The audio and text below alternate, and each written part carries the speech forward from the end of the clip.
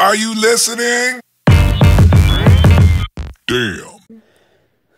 Jo, servus Leute, herzlich willkommen zu einer neuen Folge Strong Personality. Heute gibt es eine Zuschauerfrage von Curly Girly. Die fragt nämlich, ähm, lies mal bitte vor.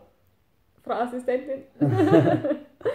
Empfiehlst du zuerst ausschließlich über Cardio die überschüssigen Körperfettkilos loszuwerden? Und kann es sein, dass man sonst dick aussieht, wenn man als Pummelchen direkt mit Kraftsport anfängt? Okay, also die erste Frage ist erstmal erstmal Cardio, um Körperfett loszuwerden. Also ich, also es kommt immer darauf an, in welchem Zustand du bist. Wenn du jetzt 300 Kilo oder so hast, dann ist es natürlich besser, erstmal mit langsamem Cardio anzufangen. Aber ich empfehle eigentlich eher gleich mit Krafttraining anzufangen, mit Kraftsport anzufangen, weil du hast einfach da viel mehr Vorteile davon. Erstens ähm, verbrennst du damit viel mehr Kalorien als wie mit normalem Cardio. Und zweitens hast du auch noch den Vorteil, dass dein Grundumsatz steigt, weil du Muskeln aufbaust und je mehr Muskeln du hast, umso mehr höher ist dein Grundumsatz. Das heißt, du verbrennst auch in Ruhephasen Energie und Kalorien. Oder wie siehst du das? Sehe ich genauso, dass meine Aus Argumente, hast meine Argumente gestohlen. Aber ich finde halt vor allem im Kraftsport ist es halt oft, dass Frauen sich dann denken, ja, wenn sie anfangen mit Krafttraining, dann schauen sie gleich so dick aus, wegen dem Muskel oder so männlich aus oder sonst was. Aber ich finde, also wenn man wirklich mit hohem Gewicht arbeitet, was aber eh lang dauert, bis man hinkommt, dann kann es sein, dass der Körper halt wirklich sehr muskulös ausschaut. Aber an sich finde ich Kraftsport schon besser, weil erstens definierte Muskeln schauen einfach viel besser aus und man schaut nicht Ja. aufgrund dessen dann dicker aus oder sonst was. Und eben dadurch, dass man dann im Ruhezustand auch mehr Fett verbrennt, da man eben Muskeln hat, bringt das meiner Meinung nach mehr als Cardio. Und ich bin generell nicht so ein Cardio-Fan. ja. Also ich tendiere auch auf jeden Fall zu Kraftsport. Genau, coole Antwort auf jeden Fall. Dann die, die, andere, die nächste Frage war noch, ähm, kann es sein, dass man durch Krafttraining ähm, dick ausschaut, wenn man als Übergewichtiger anfängt? Ähm, ja, es jein. Also einerseits, ja, das kann man jetzt schwierig beantworten. Einerseits, ähm, wenn man schon einen recht hohen Körperfettanteil hast und dann in eine Aufbauphase gehst, dann wirst du natürlich noch etwas dicker, was dann schwierig wird.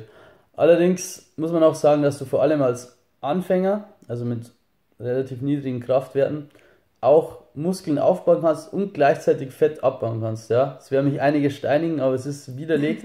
Es ist ein Mythos. Natürlich können das jetzt sehr, sehr fortgeschrittene Athleten nicht mehr. Aber als Anfänger kannst du gleichzeitig Muskeln aufbauen und Fett verbrennen oder Fett abbauen. Und ja, deswegen würde ich sagen, dass das eigentlich nicht sein kann. Beziehungsweise würde ich dir empfehlen, gleich mit Kraftsport anzufangen. Was allerdings sein kann, ist, dass ähm, wenn du schon einen relativ ja, dickeren Bauch hast und dann viele ähm, Bauchübungen machst, dass dann einfach dein, dein Bauch, deine Bauchmuskeln hypertrophieren und das dann einfach ein bisschen dicker ausschaut, weil die einfach gegen die Bauchwand drücken. Das kann schon passieren.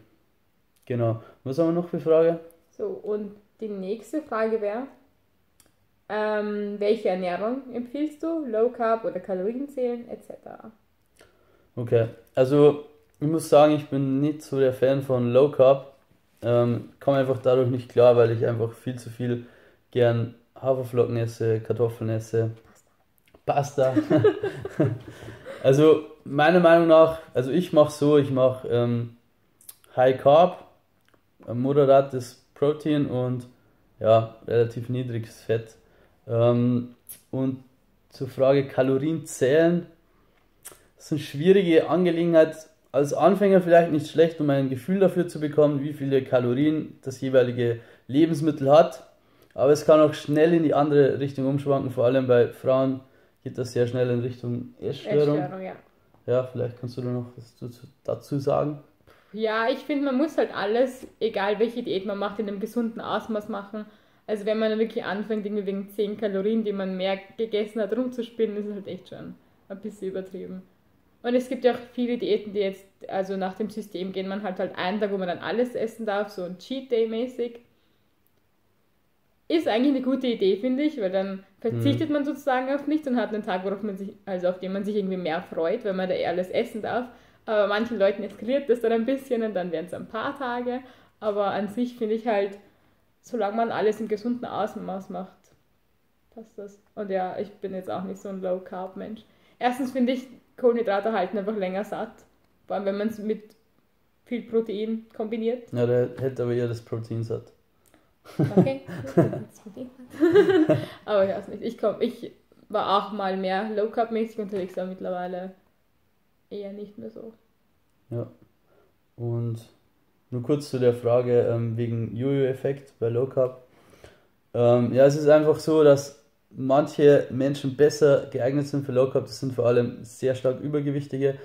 Ähm, kommen mit Low Carb meist besser zurecht, weil sie einfach noch mehr ähm, freie Fettsäuren im Blut haben, die dann als Energieträger ähm, dienen, weil ja, Low Carb kann ich mal kurz anschneiden, ähm, da stellst du den Körper quasi um von der Energiegewinnung von den Kohlenhydraten auf Fett, also, das habe ich jetzt blöd gesagt, ähm, du stellst den Körper um von äh, Kohlenhydrate als Energiequelle auf Fette als Energiequelle, genau. Das dauert einfach eine Zeit, aber das funktioniert bei Menschen mit Übergewicht besser, weil die einfach frei, mehr freie Fettsäuren im Blut haben. Der Jojo-Effekt wiederum, der hat jetzt nicht unbedingt was mit Low Carb zu tun, sondern einfach dadurch wahrscheinlich, weil du, sagen wir mal, du nimmst jetzt 10 Kilo ab, hast du vor 80 Kilo gehabt, jetzt hast du nur noch 70 und jetzt isst du aber mit 70 Kilo genauso viel Kalorien, wie du mit 80, Kalorien, mit 80 Kilo gegessen hast. Das Problem ist dabei allerdings, dass durch die 10 Kilo, die du abgenommen hast, ist natürlich auch dein Grundumsatz geschrumpft und du hast weniger Kalorienverbrauch pro Tag.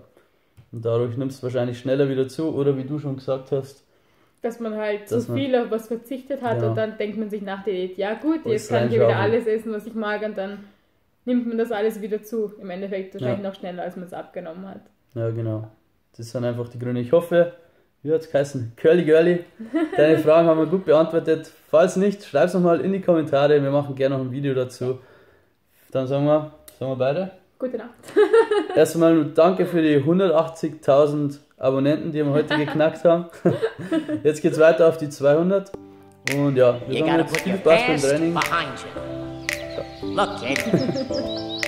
Bad things happen, and you can't do anything about it, right? Wrong.